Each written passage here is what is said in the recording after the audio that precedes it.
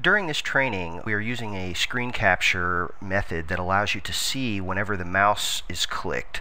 So whenever we do a left mouse click, you'll see a red indication, and whenever we do a right mouse click, you'll see the blue indication. After you have successfully installed and registered SpeedEdit, you'll have a SpeedEdit 2 icon on the desktop if you elected to put one there. Uh, you could also have a SpeedEdit icon in the Quick Start menu down here, but if you told the installer not to put an icon in either of those places, you can go to the Start menu, you can go to Programs, come down to NewTek, and then go to SpeedEdit.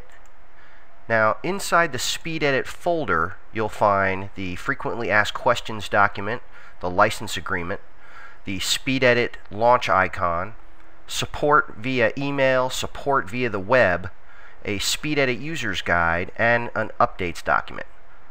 To launch SpeedEdit, go ahead and click on the NewTek SpeedEdit 2 icon.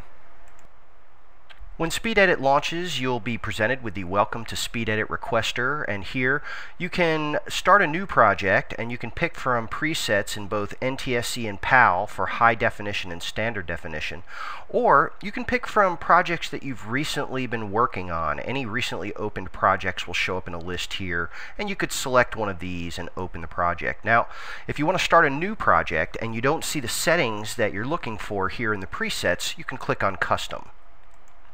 This will launch the project settings requester and this has a much more extensive list of presets for you to choose from but also allows you to dial in your own settings for a project.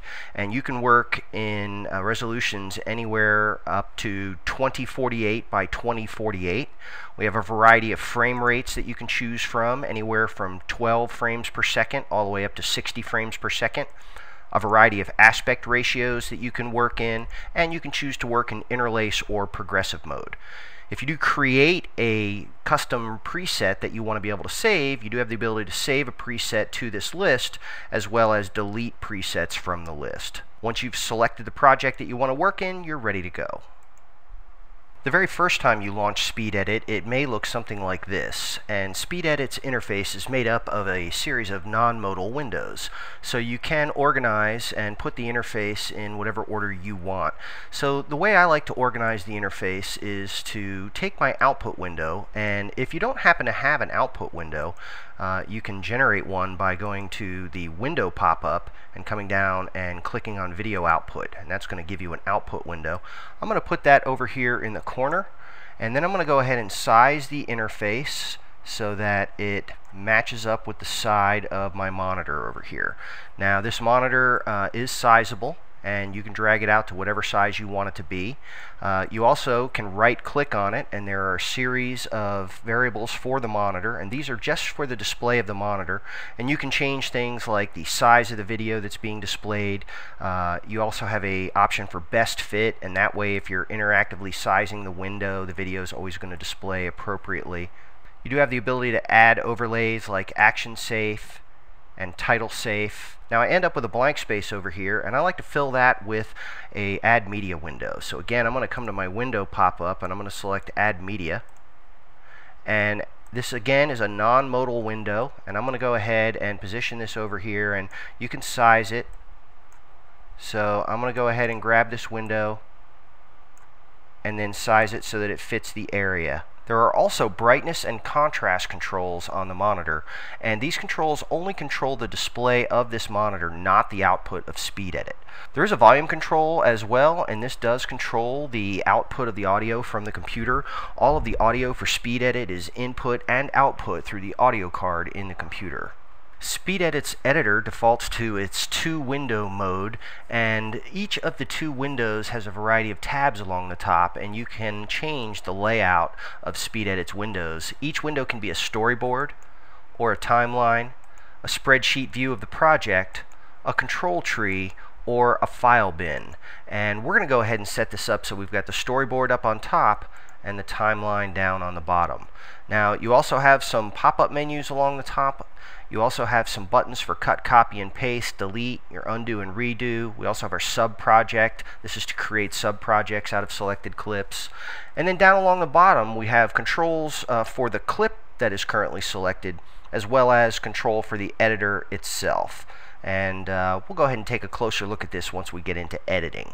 The two window setup can be changed and if you put the cursor right between the two windows you'll see that the cursor changes to an upward and downward facing arrow with a horizontal line.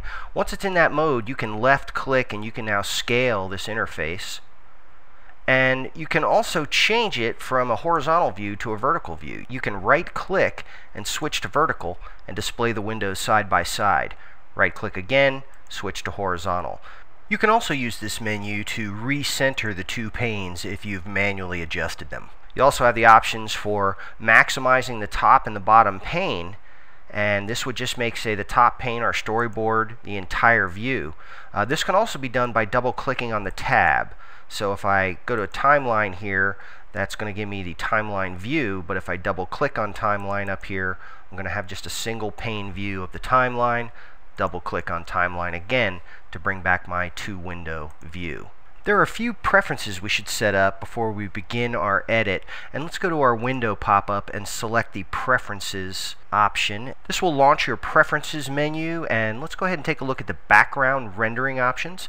Now the first one is your cache path and this is the area on the hard drive that's going to get used for SpeedEdit to do all of its data manipulation and rendering and number crunching. So we want to make this the fastest drive on the system. If you have a video RAID set up you want to go ahead and make your cache folder on that video RAID or if you just have multiple drives in a system it's best if you can set up your cache folder on a drive other than the drive that's used for the operating system. The operating system will use that same drive for paging and this could slow things down. Now if you do only have one drive in the system you can use it and that's what I have right here on my computer even though it's a very fast computer I only have a C drive installed on the machine. So I went out to the C drive and I created a folder called cache and then I simply click here and I navigate to that cache folder. So the C drive and then the cache folder and then I select it. Now, the next two options are for your background rendering profile. Now, you have one for standard def projects and one for high def projects. And what this is saying is this is telling SpeedEdit when to start background rendering. Now, as a default, it says render if there are more than four SD layers, and again, this is four layers of video that are playing with alpha channels simultaneously, or two HD streams that are layered playing on top of each other. If it's any more than that, then start background rendering. Now, you do have the ability to change these variables and increase where that background render starts, and the reason you might want to do that is if you have a more powerful machine. The more powerful your machine is, the more RAM you have, the faster the processor, the better the graphics card, the more front side bus speed. All of these variables play into the real-time performance you'll get out of speed edit on your computer. So start out with the default settings and then go ahead and try and bump them up as you get projects that have more than four layers of SD or two layers of HD and see where the sweet spot for performance on your computer is. Now, conversely, you could also decrease where the background render is going to begin if you're working on a very low power machine. So if you're working on a very low power laptop or an older desktop, you can go ahead and bump those settings down so the background render begins earlier and you'll get smoother play out when you're working with your project. SpeedEdit has the ability to work with an offset on the clips and this means when a clip is brought into the editor it's going to trim off a certain amount on the front end and the back end to accommodate for transitions. This is also sometimes known as headers and that can be set right here on the automatic in-out offset. Defaults to one second and you can change it to more or less than that. I prefer working with one second offsets, but if you're not familiar with working with offsets and you just want to work primarily on the timeline, you can turn the offsets off if you're more comfortable working that way. You do have the ability to set up the maximum number of undos you have, and this can be set to infinite, but it does default to 100. All of the undos within SpeedEdit are actually saved to the hard drive, and this is very nice as the system can be shut down, and you can come back to a project days later, fire the system up from a cold state, and still have the ability to undo things in your project. There are many other preferences that you can set inside of this window, but we just wanted to work with the basics to get you going. SpeedEdit also works with dual monitor video cards. If you can attach a second monitor to your computer system, then you can take the non-modal windows in SpeedEdit's interface and stretch them across two monitors. You could also take your video output monitor and put it on the second monitor and expand it to full screen so you have a full screen video output while you're working live with SpeedEdit. SpeedEdit also works with several video output cards we can output the video through the Firewire port and then we could hook up to a camera.